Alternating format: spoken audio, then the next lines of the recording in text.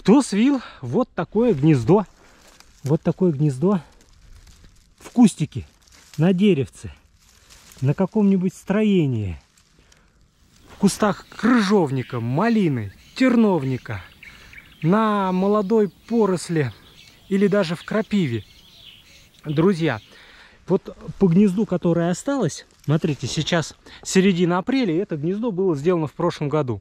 Видите, какая добротная, нехитрая постройка. Просуществовала всю зиму, в этом году было очень много снега, а оно никуда не делось.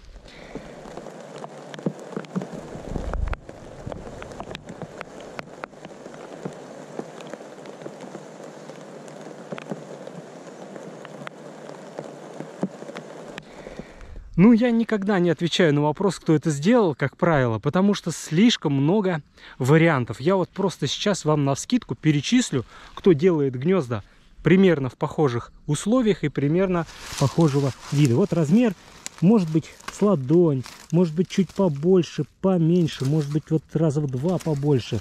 И свита из соломинок могут быть в составе веточки, может быть еще выставлен лоток шерстью.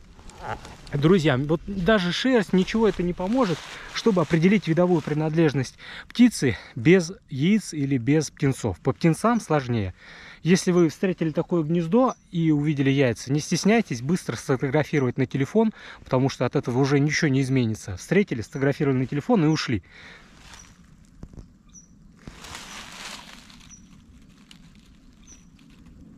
Кто такой звук издает?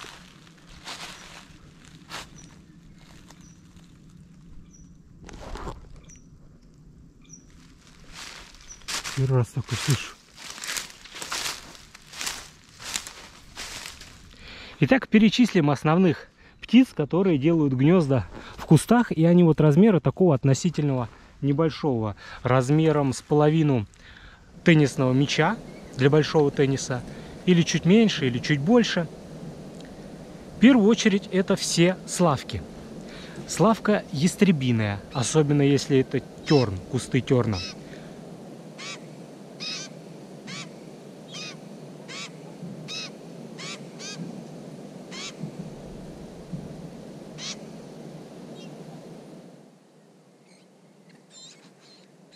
Славка садовая.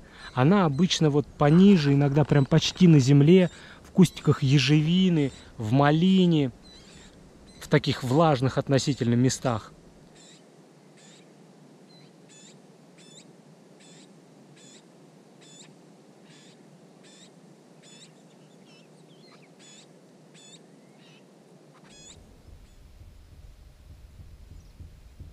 Славка серая, в более сухих местах, как правило. Серая славка вообще на земле может гнездо сделать.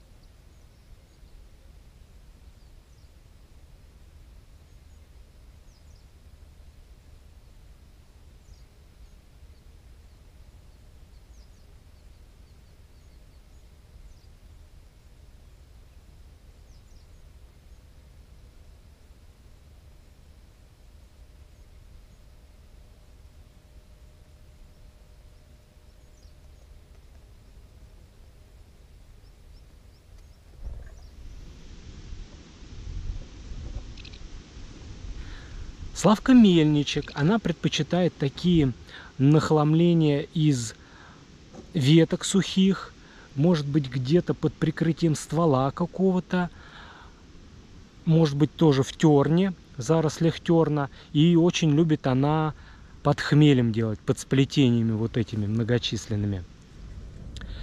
И непосредственно на каком-нибудь молодом деревце очень любит делать э, гнездо славка черноголовка.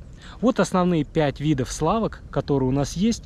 Все они делают плюс-минус одинаковые гнезда. Конечно, когда глаз наметан и уже знаешь, где у кого какой биотоп, можно примерно предположить и сузить круг видов до двух-трех.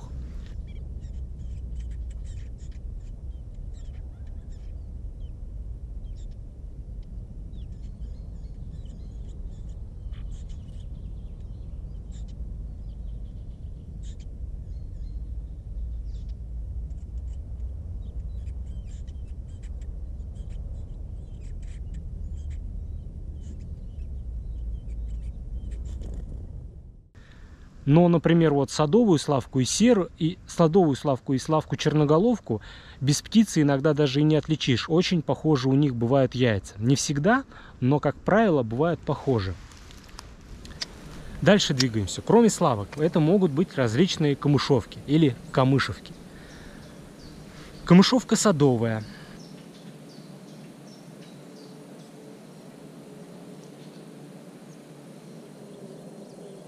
Камышовка болотная. Обе очень похожи, а вот яйца у них отличаются. И они очень часто гнездятся в крапиве. Но также делают вот на кустиках, на кустике терна, на малине, на ежевике, ну, на чем угодно, на каком-нибудь деревце, камышовое и болотное. Кроме них, кто еще может так делать гнездо? А покрупнее будет гнездо, более массивное, это сорокопут жулан. Он тоже может даже почти на земле, в крапиве, в кустах терна. Очень часто он гнездится рядом с ястребиной славкой.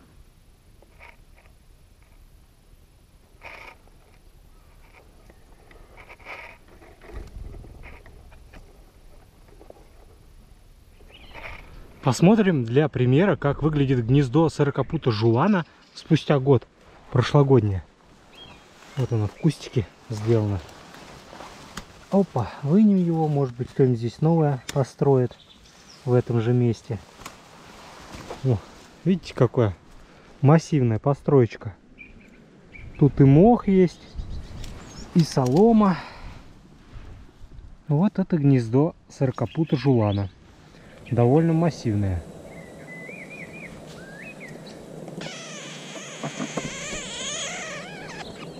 Но, в общем-то, он не единственный, кто такие делает, так что гарантий нет, если бы не знать точно, кто гнездился здесь год назад. А вот место освободил мутовку. Пусть здесь кто-нибудь еще гнездо совьет заново. Тут и серая славка гнезда вьет, и камышевки болотные, садовые тут живут. Так что пускай что-нибудь себе выбирают. Ну и на этом не заканчивается перечень птиц. Дальше идут, например, коноплянка. Вот у коноплянки может быть уже, как правило, есть в составе лотка шерсть, но не обязательно. А вот как выглядит гнездо коноплянки спустя год после разорения. То есть разорено оно было на стадии яиц как раз примерно вот такой был куст жимлости. Ну, может быть, ягоды уже были, точно не помню. И вот гнездышко. Разорили, по-моему, тут когда три или четыре яйца было. Разорили не то ежи, не то коты. В общем, они одно яйцо забрали или два, одно осталось. В общем, я сейчас это гнездышко выну, чтобы... Вот он такой размером. С ладошку. И вот видите, здесь обильная выстилка каким-то волосом. Ну, а тут ничего особенного. Вот это гнездо коноплянки, из которой никто даже не вывелся. Вот. Но их э, полезно вынимать, потому что на том же месте может быть сделано новое гнездо. Старые они, как правило, не используются такими мелкими птицами. Так что мы его выбросим. Оп. Зеленушка. То же самое. Зеленушка и коноплянка очень похожи. Гнезда и даже яйца похожи. Но у зеленушки немного крупнее.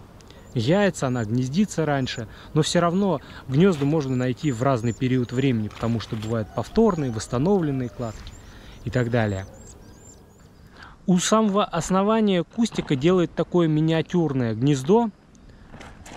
Близкое к славкам птичка. Северная барматушка. У нее очень красивые малиновые яйца. Окрас такой с малиновым оттенком. Вот она тоже делает примерно плюс-минус вот такое гнездышко.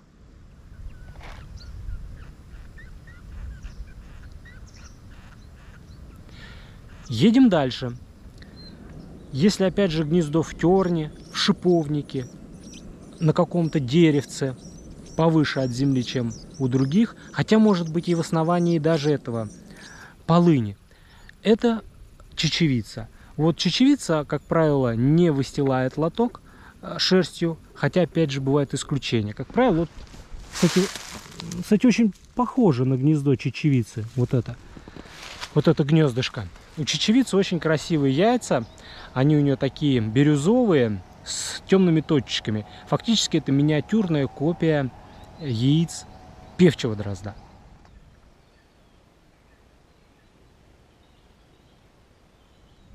Да, друзья, если гнездо массивное, прям вот, вот такое, раза в два больше, чем вот это маленькое, то это может быть и какой-нибудь дрозд. Певчий дрозд, черный дрозд, дрозд-рябинник, белобровик.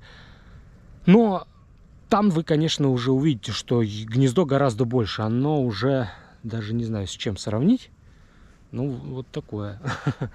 как как 2-3 мяча для большого тенниса.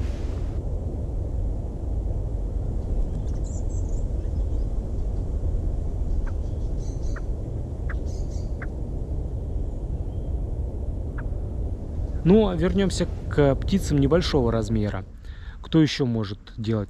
Вот если лоток очень обильно э, выстлан белой шерстью, то это, скорее всего, щегол. Ну, не обязательно. Щеглы, они все-таки любят повыше делать. Но иногда может быть и достаточно низко.